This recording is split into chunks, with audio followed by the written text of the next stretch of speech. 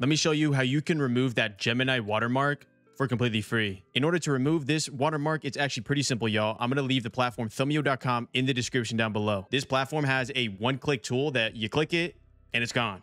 I like it. So once we're here, all we need to do is simply drag in our image. But as you can see, we can also do other YouTube videos. There's even templates, but we're going to drag in our little picture here.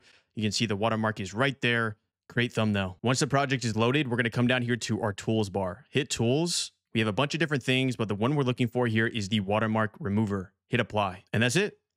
Watch this. And there we go. No more watermark. And we can simply hit export. We can choose the quality. So we'll say 95% so it fits on YouTube. We hit export again, and boom.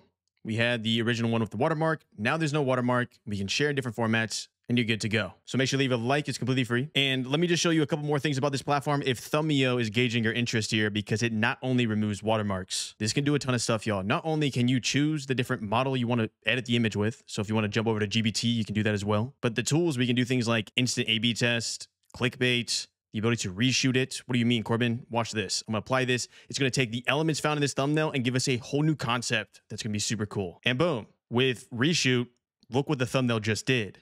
And honestly, I think this looks a lot better, y'all. Like, this is super cool. Look at this, like on a Mac. Nice. Furthermore, Thumio is crazy. They give a bunch of free thumbnails we can automatically use. What do I mean? I click one.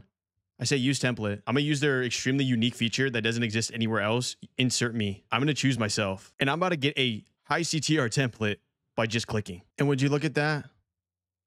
My thumbnail. We can obviously keep prompting here or alternatively use the other unique feature found here on Thumio, which is CTR campaigns. I won't keep much more of your time, but this campaign feature is crazy, y'all. You can mass edit thumbnails. So for example, we bulk edited three different videos and you can see we already got different variations, three different titles, a bunch of craziness. So that does today's video. Make sure to leave a like. Thumio.com is in the description down below. It is completely free to use. What's really cool about Thumio too is that it is completely trained on thumbnail data. So it connects patterns and it knows the best design to give you the best And as we know of YouTube, it doesn't matter unless they click. And here's the best part, y'all. You clicked on this video, and this thumbnail for this video was made with Thumio. I'll see you in the next video.